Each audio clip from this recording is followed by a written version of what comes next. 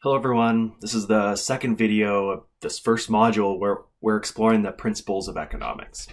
In the last video, we talked about the first principle, the idea that people face trade-offs and societies face trade-offs.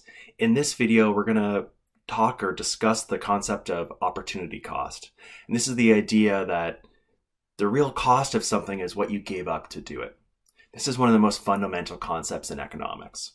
So let's take a look.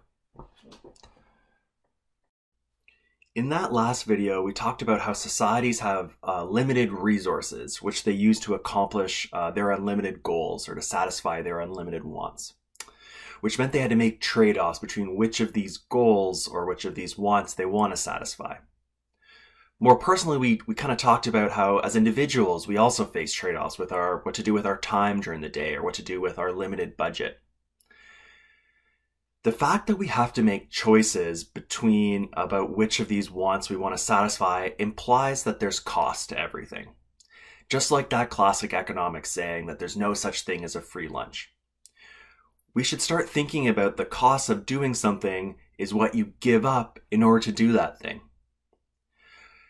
More formally, the definition of opportunity cost is the cost of choosing one any one alternative is the value of the next best alternative that is given up.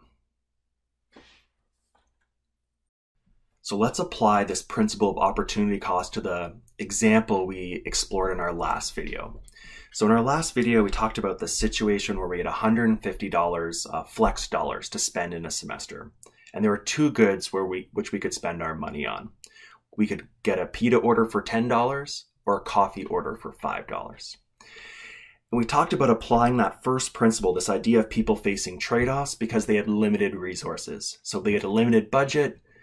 If we wanted more and more pitas, we have to give up some coffee orders to get more and more pitas. If we wanted more and more coffee, we have to give up, give up some pitas to get more coffee. But let's think about applying this principle, this, this uh, principle of opportunity cost, this concept of opportunity cost to this exact same uh, example. So instead of thinking about each pita order costing $10, we can think of what we're giving up to get that pita order. Well, if each pita order is costing us $10, we're giving up two coffee orders to get that pita order. So the opportunity cost of a pita order is two coffees. Alternatively, or conversely, the opportunity cost of a coffee order is half a pita order. In that last video, we graphically represented all the possible combinations of pitas and coffees through our budget line. So let's take a look. So in that last video, we drew out our budget line. We discussed how we came up with this blue budget line, showing all the possible combinations of coffees and pitas that we could afford with our $150 budget.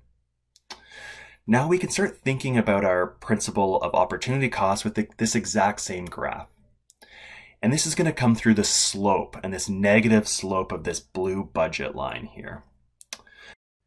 So in our last video, we talked about how we could draw out our budget line to show all the different combinations of pitas and coffee we could afford if we spent our entire $150 flex budget. So we could afford anything along this blue line here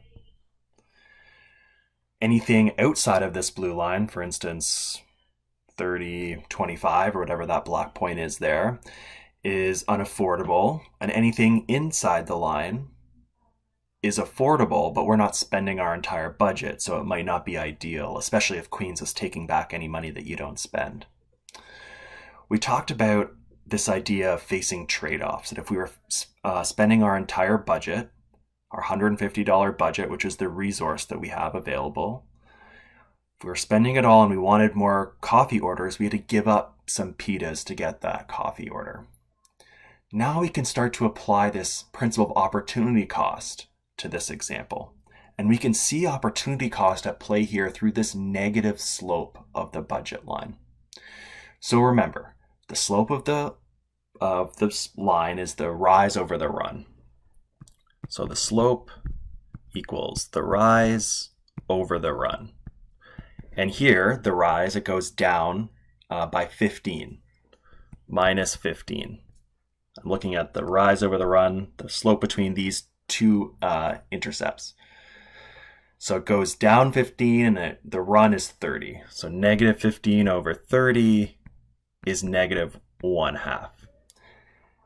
This slope is exactly that opportunity cost that we were just discussing. The slope of this budget line is the opportunity cost of a coffee order.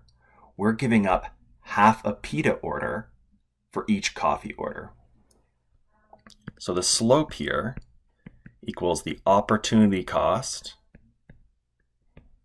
of a coffee order.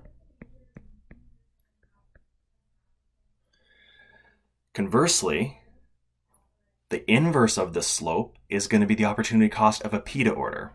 So 1 over the slope equals the opportunity cost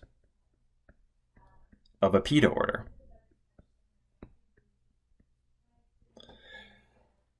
So in this example, this concept of opportunity cost is coming through the slope of this budget line. And so remember, so instead of thinking about the cost of a pita order being $10 and the cost, cost of a coffee order being 5 we can think instead about the cost, the opportunity cost of a coffee order is half of a pita order. And the opportunity cost of a pita order is two uh, coffee orders. So this was just a really brief introduction to this concept of opportunity cost. And we're going to use uh, some live sessions this week to go over some more examples and applications of this uh, really important concept.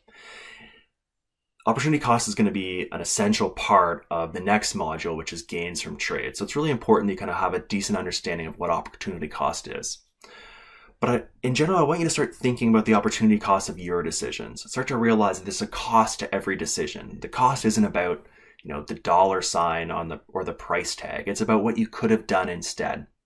So the opportunity cost of spending another hour uh, studying at night is what you could have done instead. For some of you, that might your next best alternative might be another hour of sleep, or maybe it's chatting with your friends or family, or maybe it's um, watching an hour show on Netflix or something but you'll start to realize that there's opportunity costs in every decision you make.